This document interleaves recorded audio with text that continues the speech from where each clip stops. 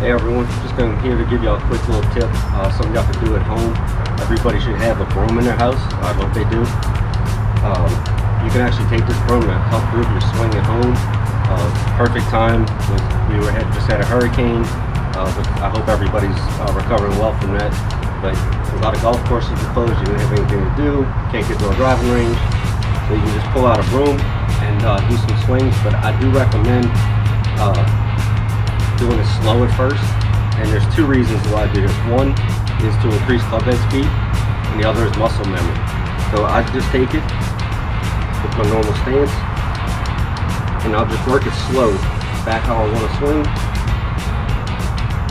Do the same thing coming forward, nice and slow. A lot of times because I'm working on impact, I'll, I'll get right here and I'll do some bumps just to get that feeling, and you just work it on through. So, yeah, let's just, we'll go real slow back, swinging. It's just kind of like shadow swinging. So, and then once you get it, you can speed it up. And then uh, at some point, once you start feeling it, you can go with your full swing. So, just a quick little tip. Use a broom when you're at your house. You have five minutes, like I'm barbecuing, or when we had a hurricane, you have nothing to do.